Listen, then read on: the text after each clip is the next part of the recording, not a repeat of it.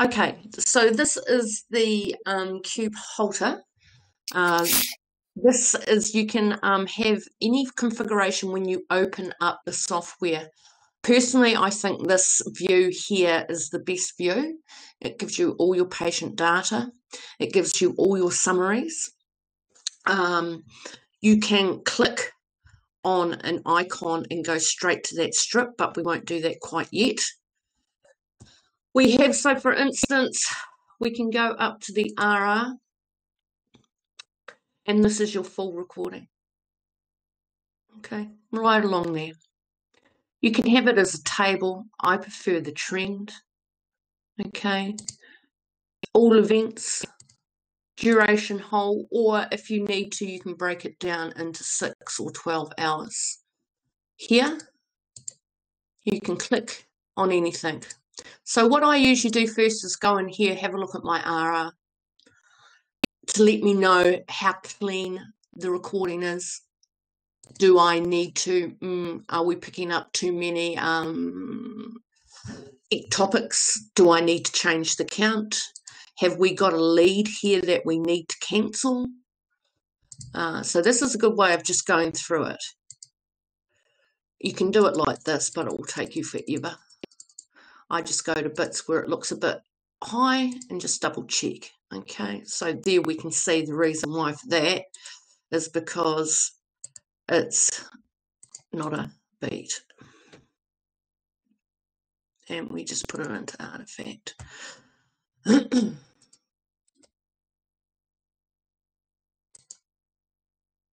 okay, so it changes it to artifact. So how I did that was you highlight it, you right click,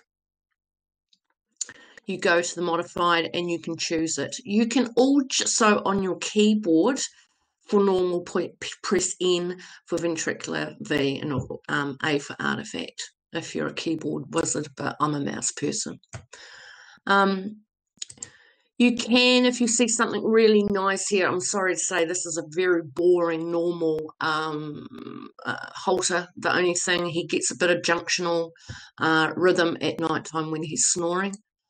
So what we can do here, say for instance, we see something quite pretty and we want to add it to the report, as we can do this. Then I come anywhere in this color bit, right click again. You can insert whatever you need to. All right, so that's that's a good function there.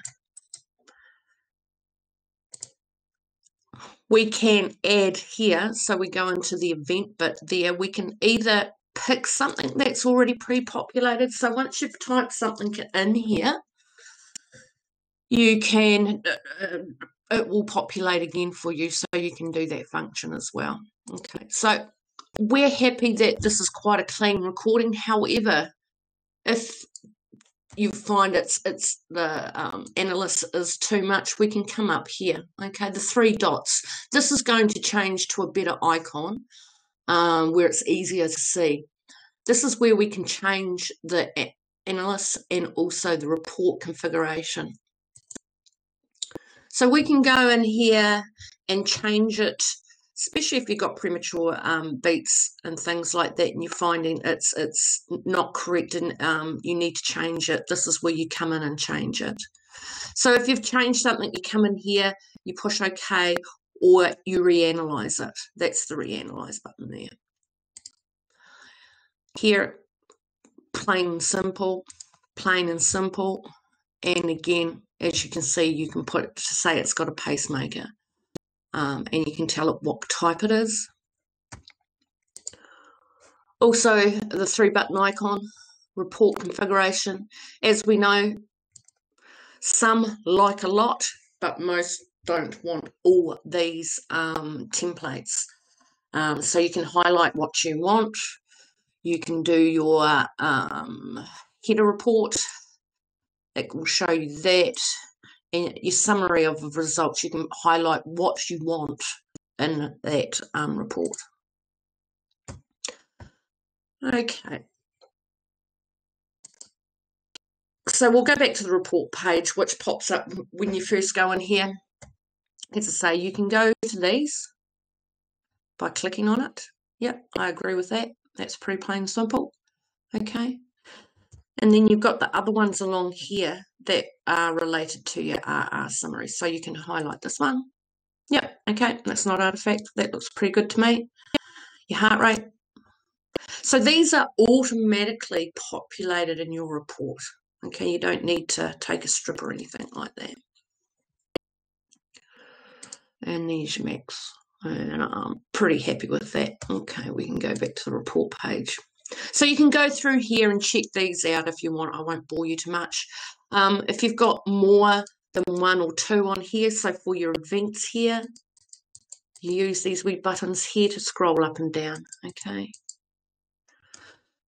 Okay, we can go to our templates now. So I'm happy with the, the recording, um, that its quality is good. Now we can go to the templates. Pretty um, self-explanatory here. Up here, you can either have ventricular or normal. All right. Channels, what leads you want on, what you want off. You can down here change your gain and speed and on and off with your filter.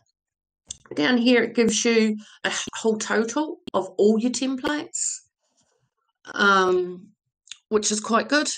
Here, this is the start of the recording. As we know, this is when it's doing its little analysis and having a look at, each, everything.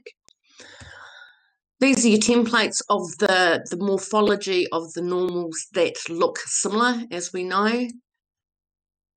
If we want to merge, we uh, left click and hold and go to there and it will ask if you want to join. Just because this is a practice one and maybe it's not the same, I'm just going to say yes. This is really quite good to actually um, bring down uh, the amount of templates you've got there if they all look the same, okay, which they basically are. So you can go along and merge these together.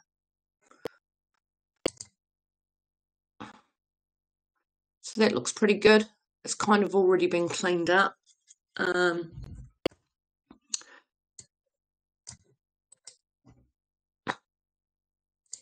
so there again, we can insert something if we see something nice. Okay. Templates are pretty simple. Um, I don't know what more I can say about that. We are in the future going to get a template that will take you straight to supraventricular beats templates. Uh, it's like a shortcut, so that'll be added as well. If you want to jump along to everyone there, you can use these arrows up here. Okay. Just use the arrows to move to each template so you can have a good look. Anything that's highlighted like this means it's going to be in your report. Okay, so it's been added to your report already as in a strip. Events. This bit I really, really like. This is very easy uh, to use uh, this Holter as an event recorder as well from the patient um, pushing the button on the recorder.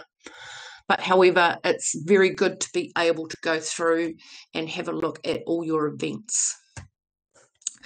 Here again, you can move to the event. So these markers here, where we're highlighted here. So if I click this button again, it moves to that event. Okay. And this is Brady, by the way or you can go back. I always keep it on trends because I like to see all this. Um, so at the moment, we've got whole. You can take it down to 12 or 6 hours if you need to. Event, you can um, go to whatever event it's seeing. So for instance, we're going to use Brady, say, as the patient marker. Sorry, the, the patient didn't use a marker at all. It comes up with marker. Um, so what you do is it will bring it up. Now the beauty of this is you can scroll straight to that button push. With your mouse, excuse it, my mouse wheel on my mouse is currently broken, but just pretend that I'm scrolling in and out. So for instance, this is where the patient pushed the button. You can look before and after the event to see if there's anything else going on around that push of the button. And then you can take a strip of that. The reason why I say it's very good for an event uh, monitor is you can do seven days, so the whole seven days would show up here and just think of it um, a bit more squashed. And you can quickly scroll to all the markings that the patient has pushed the button and have a look around them, take strips, do what you need to. Yes, we're kind of all used to the old loop recorders. Um, I find this much easier. Um, you've got a lot of data there, I know, but you may see something that you may pick up that a loop recorder will never pick up.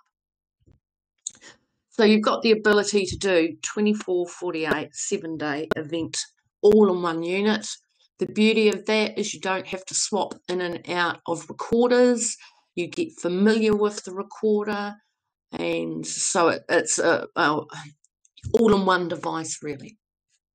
So that's your uh, events. So down here as well, if you don't want to use the Dropbox, I'm a Dropbox person. Um, you can go to these events here. Okay.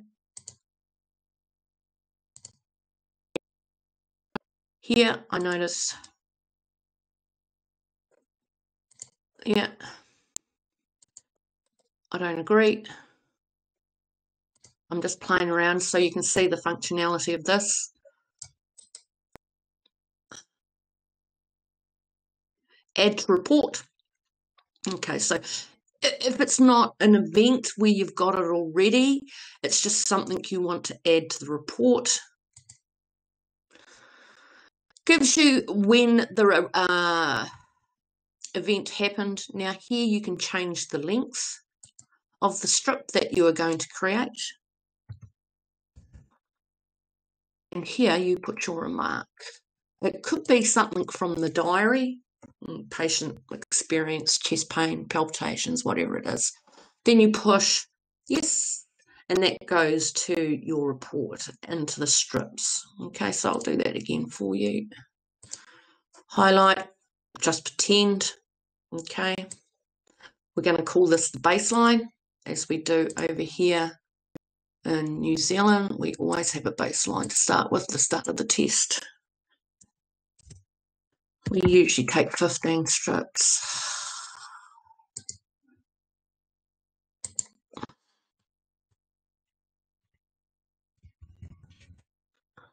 Okay, and then boom. All right, pretty plain and simple. Again, if you need to, you can change your lead, your format, gain speed, filter on, everything here. All right, if you want to move, remember to the next event, just hit the button and you can go there. Remember, if you need to, sorry, my wheel is broken um, from overuse, you can scroll in and out with your um, wheel. You can use calipers, so it's just again left click, clicking on whatever you need to, and it will bring your caliper up. Uh, I think that's pretty straightforward. Uh, nothing more there. That's pretty much so you can scroll down here to get to your next one. Pause. These are your pauses. Okay, and I concur with that. And there's another one there, and I concur with that. Okay. So remember, if it's already highlighted, it's in your report. You may want to, after an event like this, take another strip, um, add to report, and then you can just put post SVT or whatever it is. Um, and you can take, you know, pre and post, or you can lengthen out the whole recording. Depends on how you practice. We go now to uh, ST segments. This is pretty self-explanatory here. Um, you can change yeah, where your takeoffs are, where your J pointers, everything like that. Okay. And we can do that for the QTC as well. Here again, you can go up to different um, equation that you want it to analyze as, there we go. Okay, so that's showing you that in the green, it's the RR. In the purple, it's the QT. Um, pretty self-explanatory here where you can just, you know, move them about. Um, sorry, that's my dog in the background. Okay. Again, you've got um, typical. Again, you've got um, buttons here where you can go to the different um, equations and bits and pieces that you want to. Okay, so you can click along here. Remember, if it's highlighted like that, coloured, it's added to the report. Again, if you see something and you want to add it to the report, you can insert AFib, remove the um, AFib pen selection. Um, it's, yeah, quite user friendly. Heart rate variability, this template will be uh, being removed, uh, hopefully replaced with a template for strips. So you can go straight to your strips, your automatic strips, strips that you have made. So as you know, you might be in between cases and you want to do a wee bit of analysing on your Holter and you see something, can you take a quick strip of it? You want to be able to go back to that and actually um, label it correctly, have a look at it, um, increase it, decrease it. You may want to remove it. So this, you really, there is no functionality to it. It's just showing you the figures. There's nothing you can do on here apart from see when things happened. Um, so this will be being removed. So don't worry too much about this bit. Okay. Here again, we come to the report page. Um, you're quite happy with that. You can actually, um, conclusion is really nice. It's down here. You can tap away to your heart's degree. Um, it's endless. You can write a novel if you want. It depends on your practice. Uh, with us here, uh, especially in Christchurch in New Zealand, we do quite a lengthy report. Now, the beauty of this report I have found to other um, software I have used, you have to sometimes handwrite down, you know, your maximum RRs and that because you're having to flip from, say, one template to the other. Well, you don't. It's all here. You just need to look at the screen, and if you uh, it's your practice, you have to write it in the report. Okay, so that's pretty self-explanatory. As usual, the heart rate variability is just gives you all your numbers that you need to know. Again, if you need to look down, you can look down.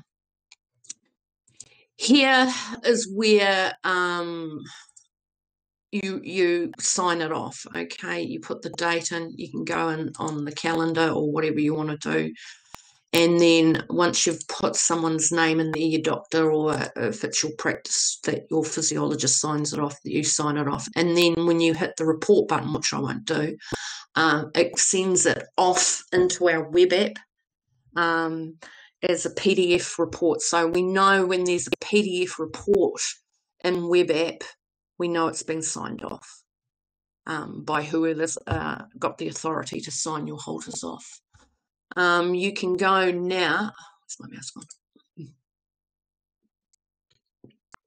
Go back into the report just in case you forgot and thought, oh, I forgot to put that, and I forgot to put that, and I forgot to put my QT.